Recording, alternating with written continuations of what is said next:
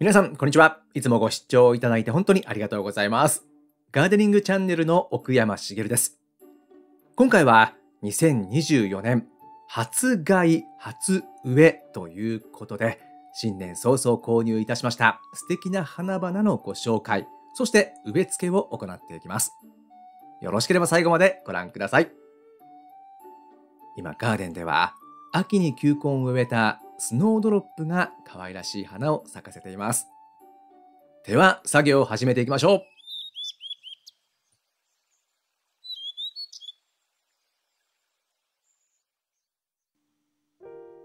2024年最初にご紹介する花はこちら。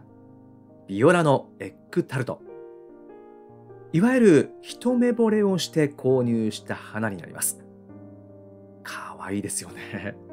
私初めて見たんですけれども、新しいんでしょうか？それとも昨年も売っていたんでしょうか？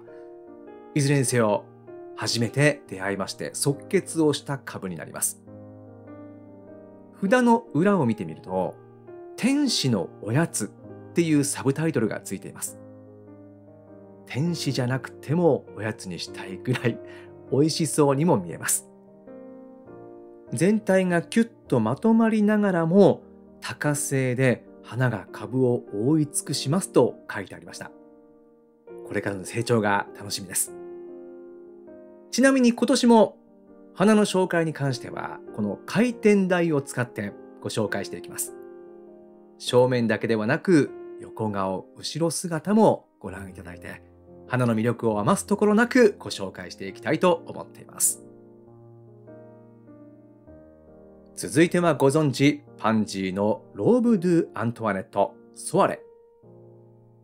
まあ、このローブ・ドゥ・アントワネット、存在はもちろん前々から知っていましたが、実際に育てたことはなかったんですが、まあ、今年からちょっとやってみようと思いまして、値段もまあまあそこそこするんですけれども、新年ということで景気づけに買おうと思いまして、思い切って購入しました。噂にたがわぬ美しさです。こちらは王妃マリー・アントワネットのドレスを連想させるフリルが何ともエレガントと書いてありました。まあマリー・アントワネットがいた頃の舞踏会に飾ってあっても絵になりそうなパンジーです。では先ほどご紹介したエッグタルトそしてこのローブ・ドゥ・アントワネット植え付けを行っていきます。植え付ける鉢ですけれども、普段のように100円ショップで購入した鉢ですとか、プラ鉢ではないなと思いまして、なんかいいのないかなと思って探したんですけれども、なかなかこういう高級なビオラパンジーを育てたことがないので、しっくりくるものがあんまりなかったんですが、ちょうどこの白い化粧鉢が一つあったので、こちらに植え付けることにしました。割と深さがある鉢なので、鉢底石は多めに入れてあります。そこに培養土と、あとは赤玉土を混ぜたものを入れまして、そして観光性の化成肥料を加えて植え付けていきます。根っこの状態はこんな感じ。少し根鉢を崩して、そして肩の土も少し落として植え付けを行っていきます。物は器で食わせるなんていう言葉がありますが、やっぱりこういう植物も植木鉢によって印象は変わってきますよね。本当はこの株を購入した際に重厚感のあるちょっとアンティーク調の植木鉢も購入しちゃおうかなと、セットで買っちゃおうかなと思ったんですが、ちょっと予算の都合もありまして植木鉢は断念しました。ありもので植え付けを行っていきます。さあ、まずは、ローブ・ドゥ・アントワネット、白の化粧鉢に植え付けを行いました。このほうきは先日作ったコキアほうき。早速活用しています。なかなかいい感じです。ではこの可愛らしいエッグタルトも同じような要領で植え付けを行っていきます。エッグタルトに関しては、まあ、少しローブ・ドゥ・アントワネットよりも株が小さいので、一回り小さめの素焼き鉢を選びました。こちらに鉢底石を入れて、そして土を加えて、観光性の化成肥料を混ぜ込んで、やはり根鉢を少し崩し、肩の土を落としてから植え付けていきます。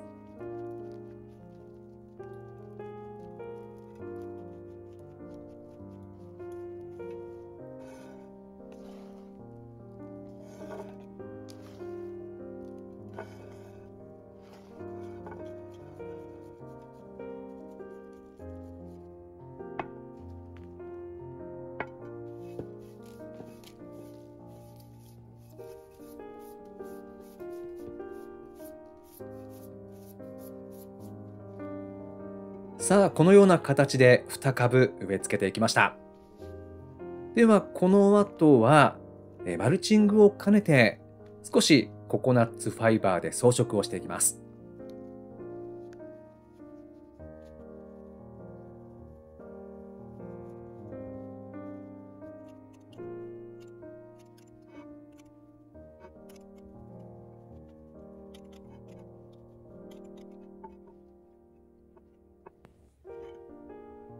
このような形で仕上げてみました。植え付けたこの2株、置き場所ですけれども、本来であれば日当たりのいい場所に置くのがベストではあるんですが、私のガーデンは日当たり、この時期はとても悪いので、唯一3、40分間ぐらい日が当たるアプローチ横に置いておくことにします。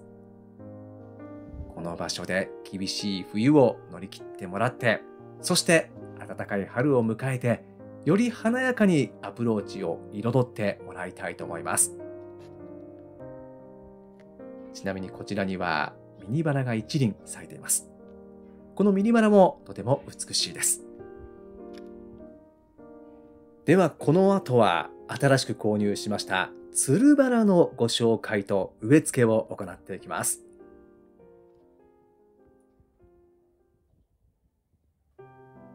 今回購入したつるバラはアミロマンティカ。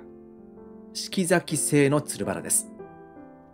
札にはこう書いてあります。咲き始めのコロッと丸い花はふんわり大きく開花します。まっすぐ上に誘引してもよく咲きます。大病性が高く花弁質が強く花持ちがいいですと。栽培条件によりピンク一色で咲くことがありますと書いてありました。今回は即戦力になる長尺の苗を購入しました。株元はこんな感じ。では早速植え付けを行っていきましょう。植え付けを行う場所ですけれども、これは先日仕上げたコーナー花壇です。そのコーナー花壇の先には、野菜コーナー、まあ、畑のコーナーがありまして、その畑の横のスペース、ここが空いているので、この場所に植え付けていきます。それでは植え穴を掘っていきましょう。深さ、直径ともに50センチぐらいを目安に掘り進んでいきます。では穴を掘っている間に新年一発目のちょっと関係のない話をさせていただきますがお正月、実家に帰っていました。で、実家には弟家族も来ていまして、弟のお嬢さん、私の姪っ子ですね。小学1年生の姪っ子がいまして、まあ、可愛いんですね。で、目つきとか仕草とか、こんなことを、こういう目つきとかこういう仕草をすると、この人は喜ぶなっていうことを分かってやっているような感じなんですよ。で、語彙力も高いし、話してて楽しいんですけど、その姪っ子が私にですね、ふざけて、しげるおじいちゃん、オセロやろうよって言うんですね。で、私も、えー、おじいちゃんって言われたからやんないって言ったんです。そしたら、じゃあ、しげるお兄さん、オセロやろう？って可愛い顔で言われて、で、私も、あ、じゃあやろうかって言ったら、ちょろって言うんですよ。え、今なんて言った？ちょろいんだもんだって。って小学1年生の姪っ子に言われました。すごいですね。その振り幅がまた可愛くてさらに好きになってしまったんですけれども、まあ、どんな女性に成長していくのか楽しみに見守っていきたいと思います。なんていう話をしている間に作業は進んでおりまして穴を掘った後腐葉土と堆肥を入れてでもともとの土とちょっと混ぜ合わせた後にバラの土を加えました。そして鉢から抜きまして、まあ、少し根鉢を崩してそして植え付けていきます。継ぎ口が地中に埋まってしまわないように高さを調整しまして高さが決まったらバラ苗を中央に据えてもともとあった土と腐葉土を混ぜたものそしてバラの土を使って根っこを埋めていきます。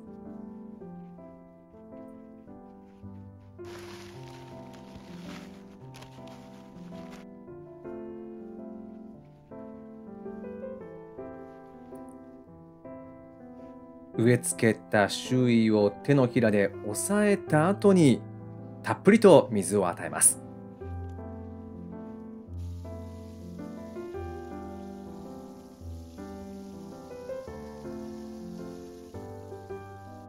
いずれあのフェンス沿いにアミロマンティカを這わせるためのアイアン製のトレリスを立てる予定ではありますが、まあ、とりあえず間に合わせ的に ちっちゃいトレリスを立てておきます。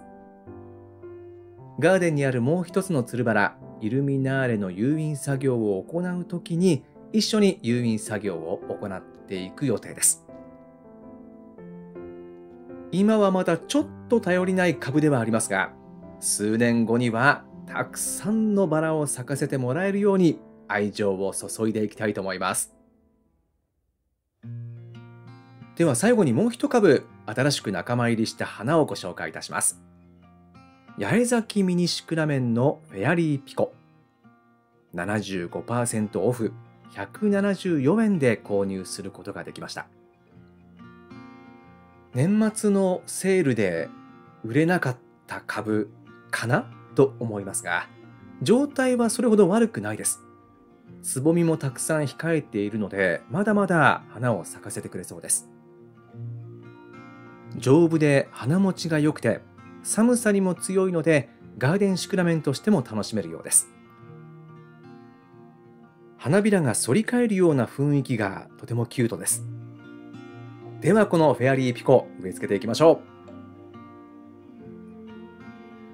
植え付ける場所はこちらの石花壇ここに少しスペースがありますのでこの場所に植え付けますこの場所にはつい最近までベゴニアが植えてあったんですが、霜に当たって一気に枯れてしまいました。代わりにフェアリーピコをここに植え付けていきます。まあ、シクラメンに関しては浅植えということなので、まあ、深くは掘らずに浅めに植え付けていきますが、この場所はフェアリーピコ以外にあと2つ、2株ガーデンシクラメンが植えてあります。1つは夏越しをした2年生。もう一つは今年迎えた1年生です。この場所であれば夏越しもできるので、フェアリーピコも、まあ、できるだけ長くこの場所で咲いてもらいたいなと思います。最後に水やりを行って植え付け完了です。ということで最後までご視聴いただいて本当にありがとうございました。よろしければチャンネル登録をしていただいて一緒にガーデニングや園芸楽しんでいきましょう。それでは次の動画でお会いしましょう。では、また。